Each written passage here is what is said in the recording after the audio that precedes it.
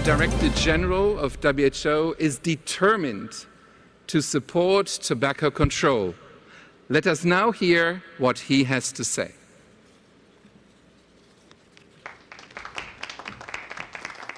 Your Excellency, Mr. President, dear colleagues and friends, I thank Your Excellency and the government and people of Panama for hosting the conference of the parties to the WHO Framework Convention on Tobacco Control.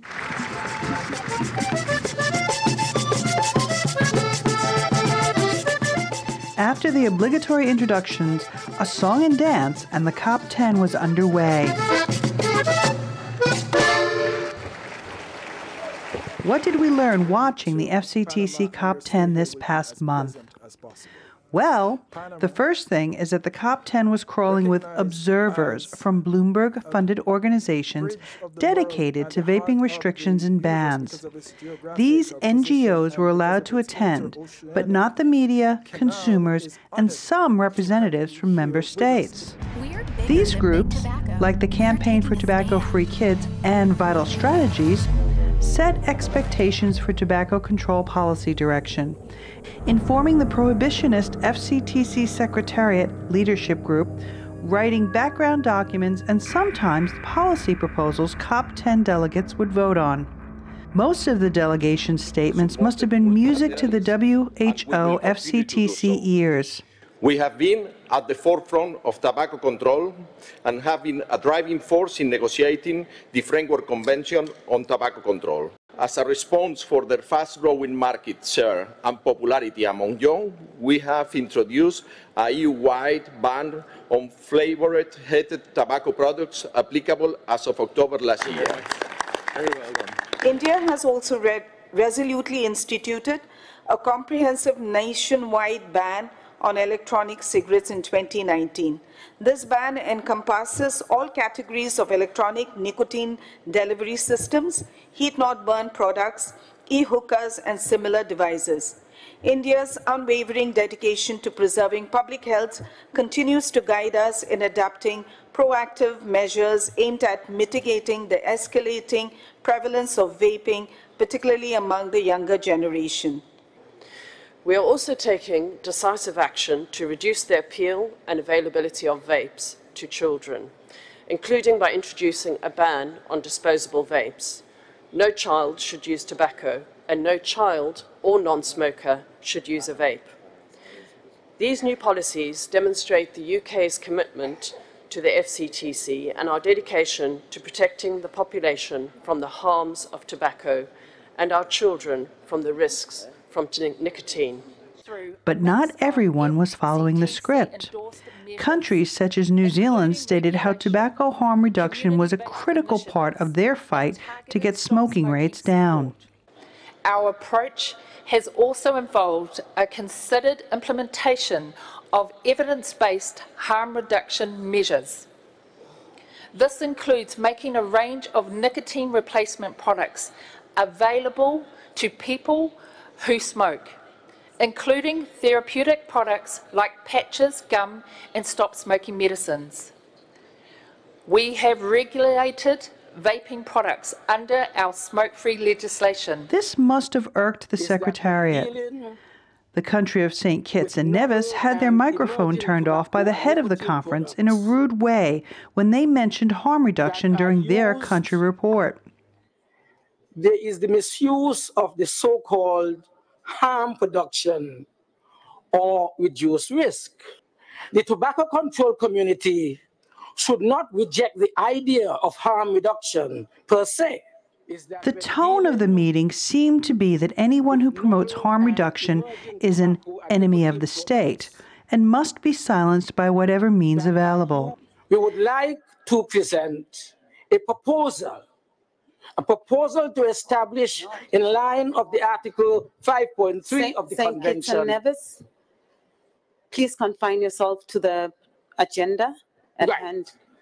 And we are not the... proposing a working group, which I intend it to spend more time, time for a proposal. Please uh, give us a, an update on your global on progress in some kids. Then we had the unprofessional behavior of the likes of Elvina Majiwa, a self professed tobacco control advocate who is listed as a marketing and communications specialist from Kenya on her LinkedIn profile. She sent a nasty tweet to Joseph Magero, a consumer advocate from Africa. Martin Cullip had this to say What about the new advertising campaigns like the Spanish cancer flavor uh, fake vape? yeah. Well, yeah, that's just um, disreputable, isn't it? It's just really, really shoddy. And like I said, I mean, that, that's it's not really an advertising campaign so much as it's a scare story, isn't it? And and the guy, I think he was Secretary of State for Health in Spain. He should be thoroughly ashamed of himself. Uh, and the WHO and FCTC, if they've not taken them to a side room and given them a good old telling off, then then they're really not a serious organisation, are they? I mean, this tactless stunt was originated by Javier Padilla from Spain. Even made the news. Habrán visto vapeadores de todos los sabores ahora que están tan de moda, pero ninguno como el que les vamos a mostrar. Es un vapeador con sabor a cáncer.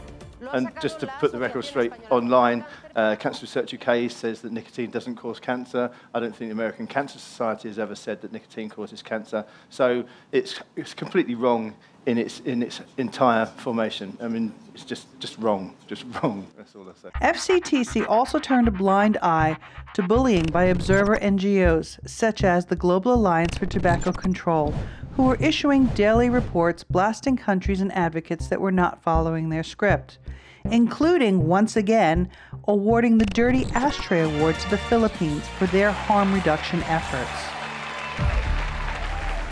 So, who really calls the shots and keeps the FCTC delegates and approved observers in line? Certainly not the WHO, who are held to the same code of conduct as the UN, as a UN affiliated organization. Jeannie Cameron explains.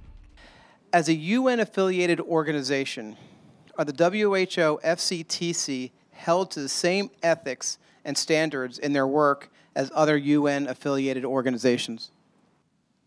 Do you want to come over here, Jean? Come. oh, okay. Come in. Well, well, well. Yes.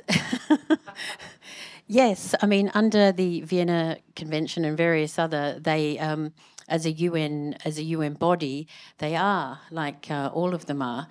The problem is is that um, the WHO had no experience in negotiating treaties, and when this first started, they they as I said they were new at it. They were so bad at it that they had to bring in two WTO ambassadors, Seixas Correa and Celso Amorim from Brazil, to actually conclude the FCTC.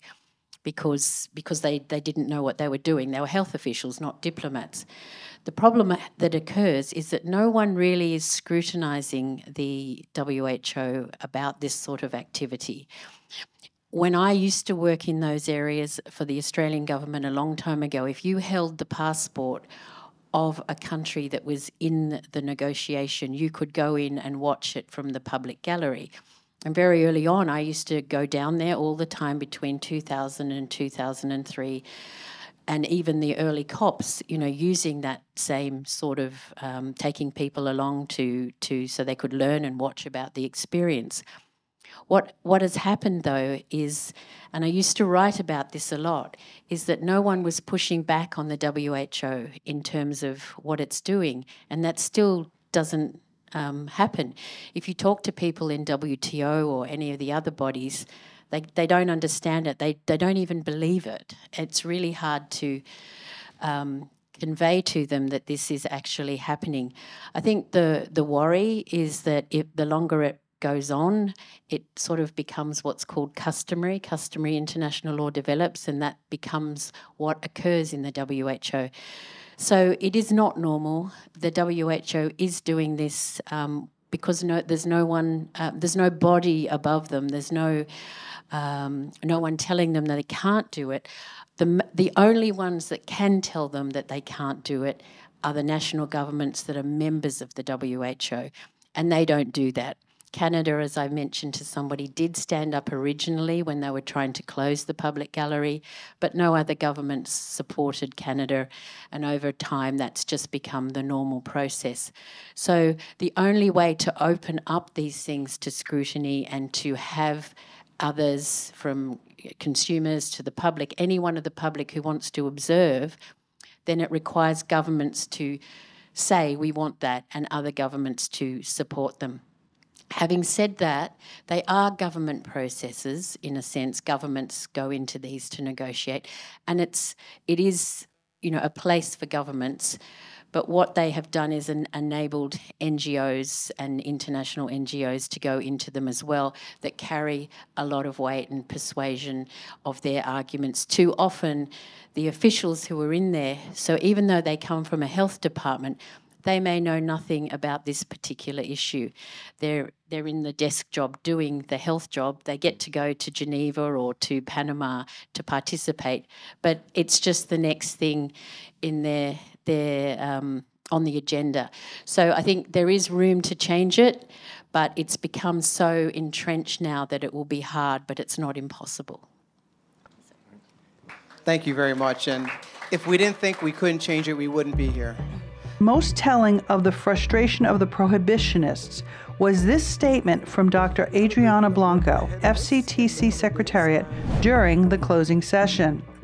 The interests of the tobacco industry or even of smokers should never serve as justification for legitimizing products that could send even a single child down the path of addiction. The WHO Code of Ethics, as well as the UN Code of Conduct, mandate inclusion and non discrimination. This was obviously ignored by the disgusting behavior that took place in Panama.